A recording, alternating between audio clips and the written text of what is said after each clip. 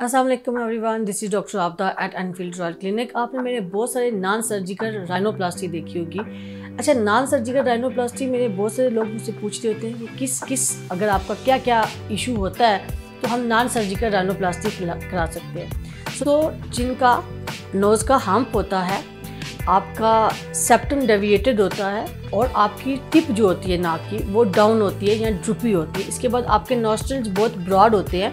Flaring of nostrils होती है। सो so, इन सारी चीज़ों को हम कैसे फिक्स करते हैं? सो नॉन सर्जिकली अगर किसी का हम्प है तो हम वो थ्रेड्स के साथ भी फिक्स कर सकते हैं और फिलर्स के साथ भी। डिपेंड करता है जब हम पेशेंट का एग्जामिन करते हैं तो फिर हमें फील होता है कि इसका थ्रेड बेस्ट रहेगा या इसका फिलर्स के साथ बेस्ट रहेगा।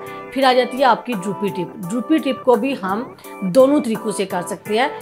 उसके बाद आ जाता है कि आपका सेप्टम डेविएटर है। डेविएटेड सेप्टम को स्ट्रेट लुक देने के लिए फिलर सबसे बेस्ट ऑप्शन होती है। सो हम उसका फिलर करते हैं, जो कि आपका ऑलमोस्ट डेढ़ से दो साल तक स्टे करता है।